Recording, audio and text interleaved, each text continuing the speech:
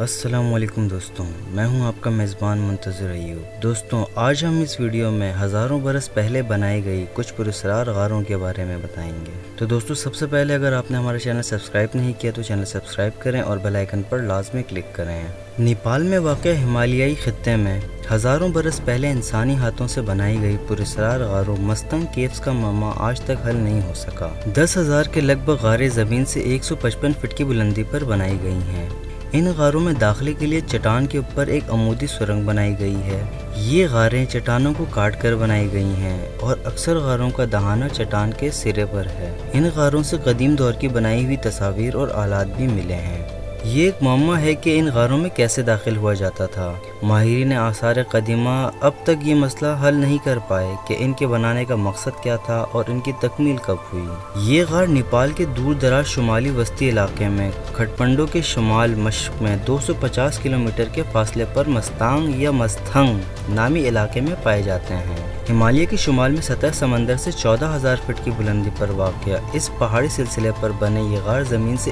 155 feet की बुलंदी पर वाक़ हैं। इंसानों के तामीर करदा इन हज़ारों गारों का शुमार दुनिया में मौजूद आसार कदीमा के सबसे ज़्यादा पुरस्कार गारों में किया जाता है। हज़ारों की तादाद में खोदे गए ये सुराख नाजुक और इंतहाई बड़े हैं और ये मट्टी के रंग के पहाड़ में तामीर किए गए हैं। हैरान कन तादाद में दरियाफ्त होने वाले ये गार कुछ चट्टान के सामने की जानब से खोदे गए हैं, जबकि कुछ की खुदाई सुरंगों की शक्ल में की गई है। हज़ारों साल पुराने इन बुलंद तरीन गारों को देख कर बहुत सारे सवाल जन्म लेते हैं। मिसाल के तौर पर इनको किसने तामीर किया, क्यों तामीर किया, और ये भी मालूम नहीं कि जिन्होंने ये गारें खोदी हैं, वो ज़मीन से 155 फीट की बुलंदी पर वाक़ इन पहाड़ों तक चढ़े कैसे। एक अंदाजे के मुताबिक इन गारों की तादाद दस हज़ार है। जिन लोगों ने इसे देखा, उनका कहना था कि ये ऐसे ही दिखाई देता है जैसे कोई बहुत बड़ा किला हो। तारीखी हवालों से पता चलता है कि हिमालय के इस मकाम पर किसी दौर में लो सुल्तनत का दारुल हुकूमत था, जिसे अब बालाई मस्तंग भी कहा जाता है। इसको अक्सर नेपाल की पोशीदा ख्याली जन्नत के तौर पर पेश किया जाता है। दरमियानी सदियों के ज़माने में बालाई मस्तंग एक आज़ाद रियासत थी, जिसका जोग्राफियाई वकू इसे हिमालय और हिंदुस्तान के दरमियान तजारत पर मुकम्मल इख्तियार देता था।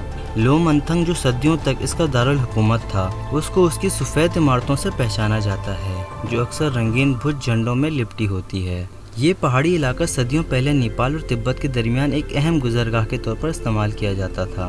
इस कदीम दारुल खुलाफा लो मंथंग तक पहुँचने के लिए जोम सोम नामी कस्बे तक एक पुरखतर हवाई सफ़र करना पड़ता है। फिर इसके बाद अगर मौसम खुश्क हो तो छः घंटे का सफ़र सतह मरतफा तिब्बत तक ट्रक पर तय करना होता है। बारिशों के मौसम में ये छः घंटे का ट्रक का सफ़र कई दिनों के घोड़ों पर ट्रैकिंग के ज़रिए तय किया जाता है। ये खत्ता इन बाज़ जगहों में से एक है जहाँ तिब्बतीन सकाफत पाई जाती है। उन्नीस सौ बानवे तक इसे सयाहों के लिए मुकम्मल तौर पर बन रखा गया था।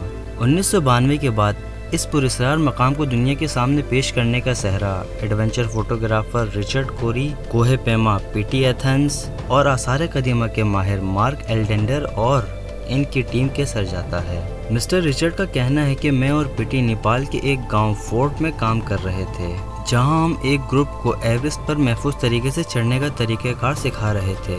उस दौरान पीटी ने मुझसे इन पुरस्कार गारों के मंसूबे के बारे में पूछा कि क्या मैं इसमें दिलचस्पी रखता हूँ? और जब हमने इन गारों की जानब सफ़र किया, तब उसने इन गारों के बारे में बताना शुरू कर दिया। उसने उस मकाम के लिए जादुई अल्फाज इस्तेमाल किए, और मैं किसी ऐसे मकाम का तस्वुर भी नहीं कर सकता था। मैं पूरी ईमानदारी के साथ कहता हूँ कि जब मैं यहाँ पहुँचा तो मैंने देखा कि ये मेरे तस्वुर से कई ज़्यादा बड़ा अजीम शान मकाम था। हमें सबसे ज़्यादा हैरत इस बात पर हुई कि चट्टानों में बनाए गए इन गारों तक रसाई मुकम्मल तौर पर नामुमकिन है। ये एक इंतहाई कदीम मकाम है। और ये कई मंजिलों पर मुश्तमिल है। आसमानों से बातें करते इन गारों पर चढ़ना कोई आसान काम नहीं था, क्योंकि चट्टाने हिल रही थी और उस टीम के लिए ये एक बहुत बड़ा खतरा था। हाल ही में गार में बारहवीं सदी की बनी हुई बुधा की पेंटिंग दरियात हुई हैं। गार में एक मोराल मिला है, जिसके 55 पैनल हैं और इन पर बुद्धा की ज़िंदगी के मुख्तलिफ़ अदवार दिखाए गए हैं। म्यूरल एक किस्म की एक बहुत बड़ी पेंटिंग होती है, जिस पर तस्वीरों की मदद से कोई कहानी सी बताई जाती है। कोबरन ने कहा कि बुनियादी म्यूरल 8 मीटर चौड़ा है और हर पैनल तकरीबन X three five four three centimetre बड़ा है। एक करीबी गार से तिब्बती जबान में लिखे हुए नुस्खे दरियाफ्त हुए हैं। तहकीकारों की टीम में नेपाल, इटली और अमरीका के फिल्मसाज कोहे पैमा और आसार कदीमा के माहरीन शामिल हैं। बुनियादी मोराल के अलावा कई दूसरी पुरानी पेंटिंग्स भी दरियाफ्त हुई हैं। तो दोस्तों, उम्मीद है आपको ये वीडियो पसंद आई होगी। इस तरह की मज़ीद इन्फॉर्मेटिव वीडियोस देखने के लिए आप हमारे चैनल को सब्सक्राइब करें और बेल आइकन पर लाजमी क्लिक करें और अपने राय का इजहार कमेंट बॉक्स में लाजमी करें।